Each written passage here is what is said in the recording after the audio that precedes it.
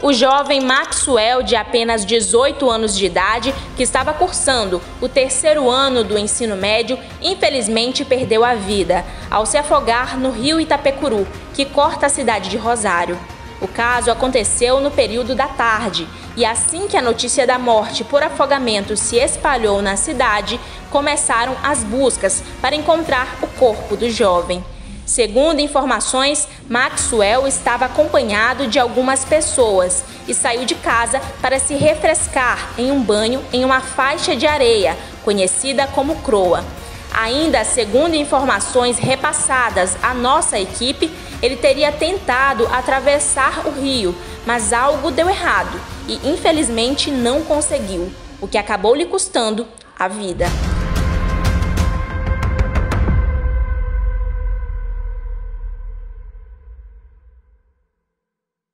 Segundo informações familiares e colegas e amigos, afirmaram que sim, sabia nadar e que o fato aconteceu devido à cãibra nas duas pernas.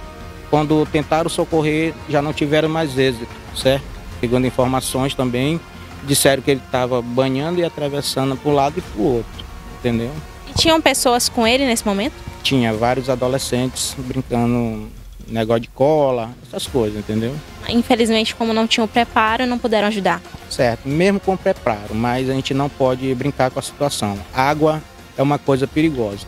Esse rio Itapecuru, ele é perigoso. Mas já na manhã desta quarta-feira, o corpo do jovem foi encontrado.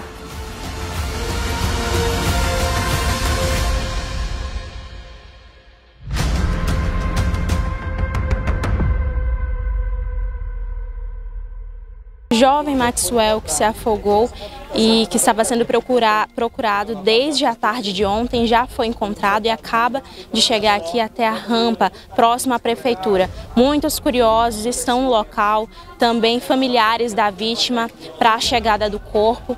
É, as buscas foram realizadas desde ontem às 18h30 e finalmente o corpo foi encontrado e agora a família vai ter a chance aí de velá-lo e prestar suas últimas homenagens. É, o Corpo de Bombeiros foi acionado ontem à tarde, por volta das 4 horas, e, e a equipe que... O Corpo de Bombeiros aqui da região solicitou apoio dos mergulhadores do BBMAR, da região metropolitana de São Luís, e nós, uma equipe de quatro mergulhadores, é, estivemos aqui no local a partir das 9 da manhã, né, deslocamos de São Luís cedo, chegamos aqui às 9 da manhã. E inicialmente chegamos no ponto em que a vítima havia desa desaparecido, é, fizemos ali uma coleta de dados, é, como é que era o relevo da região e a partir daí nós colocamos a, a embarcação para fazermos as buscas. O corpo, no momento que nós estávamos fazendo as buscas no trajeto do ponto que ele desapareceu até o trajeto em que a corrente do rio é, estava arrastando, é, nós encontramos o corpo é, numa distância mais ou menos de 500 metros do ponto que desapareceu. Ele já havia emergido, já estava na superfície e a partir daí nós então iniciamos o, o processo de, de proteção do cadáver.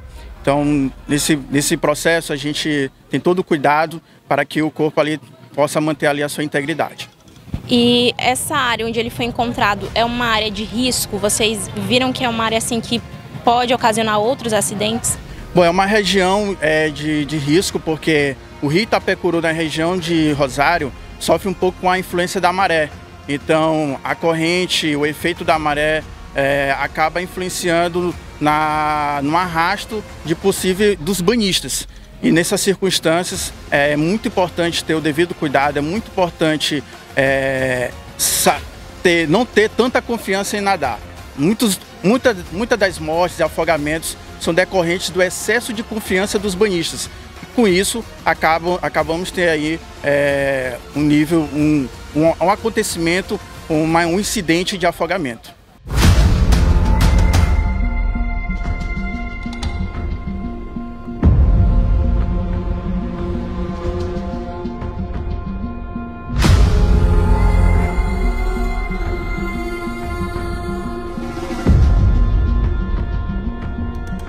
Maxwell era bastante atuante em sua igreja e também no esporte rosariense.